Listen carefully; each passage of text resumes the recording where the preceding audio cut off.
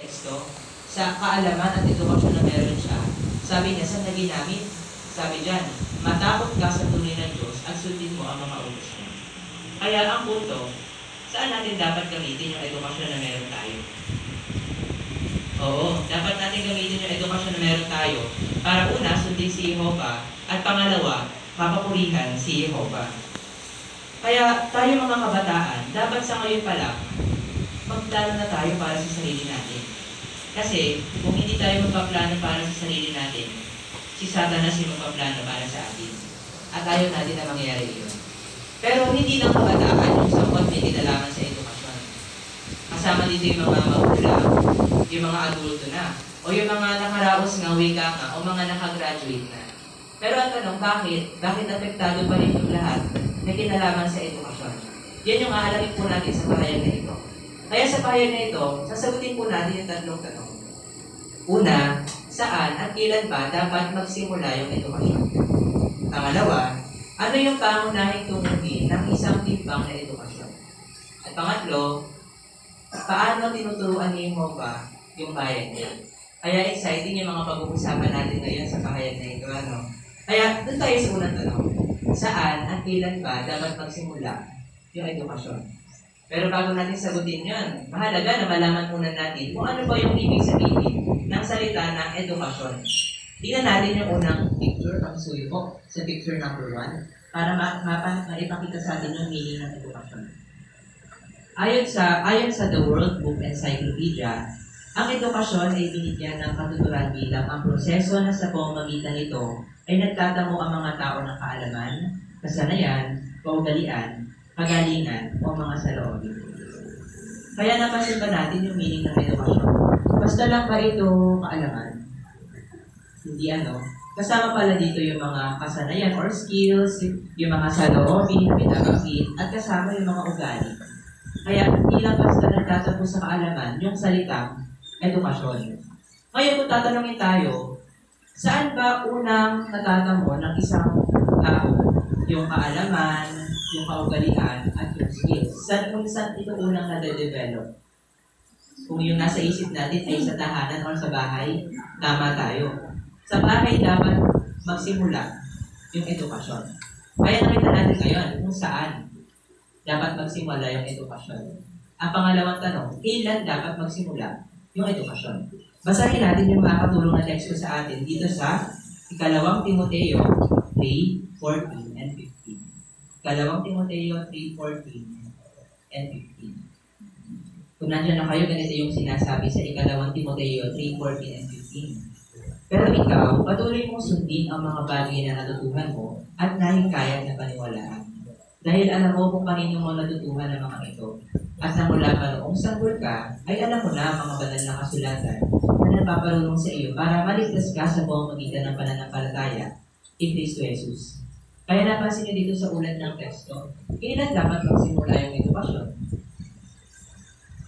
Bansa pa na nasa ni Timoteo, sinabi, mula pa nung sanggol si Timoteo, nagkaroon siya, nagkaroon na siya ng edukasyon.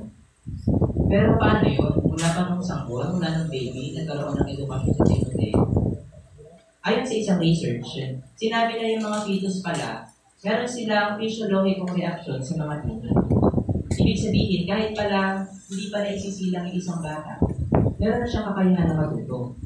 Ang sabi nga ni Dr. Edward Ziegler, professor sa Yale University, malaki yung kakayahan ng mga sanggol na matuto. Ibig sabihin, hindi maikapat bilang napakaaga pa na turuan ng isang bata. Kaya nakita natin, hindi pala dahilan na masyado pang bata para turuan. Hindi pala may dadahilan ng isang magulang yung bagay na yun. Kasi kung papansin natin yung teksto na binasa natin, si Timoteo, naging marunong siya nung, nung lumaki siya. Kasi nung bata pa lang siya, nung sanggol pa lang siya, nagsimula na yung pagtuturo o yung paghubog sa kanya ng kanyang mga magulang.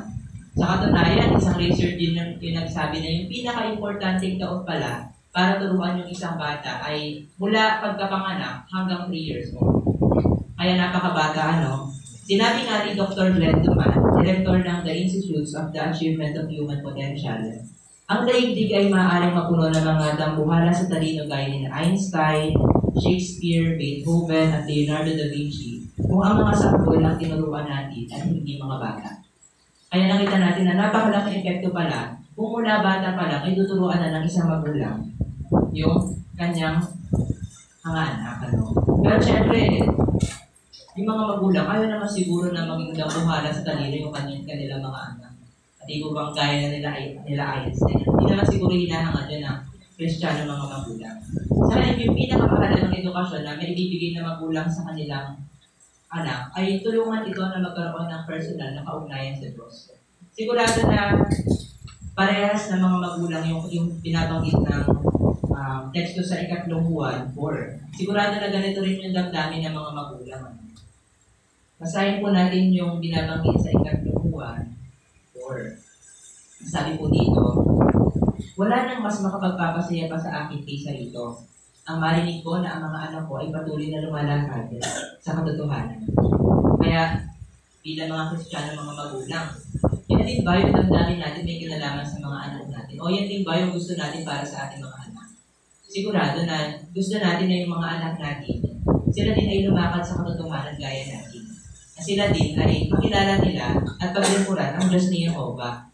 Kasi kung pag-iisipan natin, yung kaalaman, madaling makuha, madali rin mawala. Pero kung tutulungan ng isang magulang yung kanyang mga anak na magkaroon ng personal na kaugnayan sa Diyos, sigurado na ito yung pinakamagandang edukasyon na pwede niyang maibigay sa kanyang mga anak. Pero ang tanong, paano? Paano magagawa ng isang magulang na mapalaki yung kanyang anak gaya na binanggit sa teksto na binasa natin? Makakatulong ulit sa atin yung teksto na babasahin natin sa Aklat ng Efeso, chapter 6, verse 4. Kaya sama-sama ulit natin basahin yung magandang teksto na ito. Na tamang-tama para sa ating mga Kristiyano mga magulang. Efeso 6, 4. Kung nandiyan na kayo, ganito yung sinasabi. At mga ama, huwag ninyong inisin ang inyong mga anak, kundi palakihin sila ayon sa disiplina at pagtubay ni Jehovah. Kaya paano dapat palakihin ng mga magulang yung kanilang mga anak? Gaya na sinabi sa teksto, dapat na palakihin sila ayon sa disiplina at patnubay ni Jehovah. Ang tanong, paano ulit yun? Paano papalakihin ng isang magulang yung mga anak niya? Ayon sa disiplina at pagtubay ni Jehovah. Nakakatulong sa atin yung picture number 2 para makita natin kung ano ilang mga paraan kung paano magagawa ng magulang yung bagay na yun. Sa so, po sa pangalawang larawan.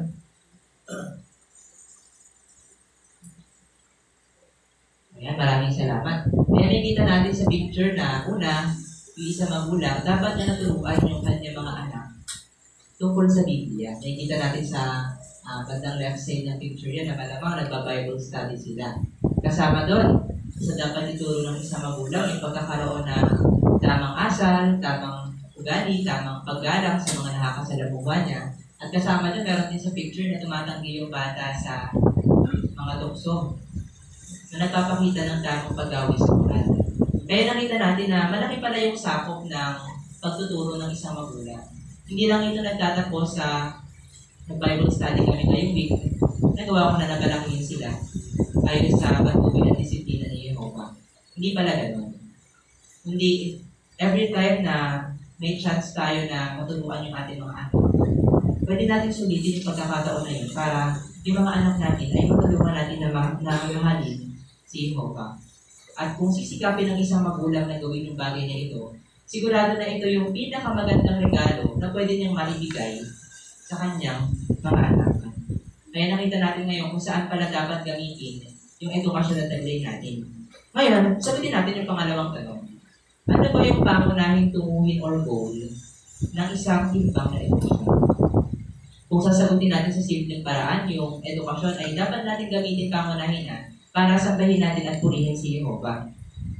Basahin natin yung Juan, chapter 7, verse 16 hanggang 18, para makita natin kung sino yung isang napakagandang halimbawa na ginalaman sa pagpaparangal kay Jehovah instead na parangalan yung kanyang sarili. Basahin natin yung teksto na yun sa Juan, chapter 7, verse 16 hanggang 18. Kung nandiyan na kayo, ganito yung sinasabi. Kaya sinabi ni Jesus sa kanila, ang itinuturo ko ay hindi galing sa akin, kundi sa nagsugod sa akin kung gustong gawin ng isa ang kalooban ng Diyos, malalaman niya kung ang itinuturo ko ay galing sa Diyos o sa sarili niya o sa sarili ko. ang sino mang nagtuturo ng sarili niyang ideya ay luwalhati sa sarili niya. Pero ang sino mang gusto magbigay ng kaluwalhati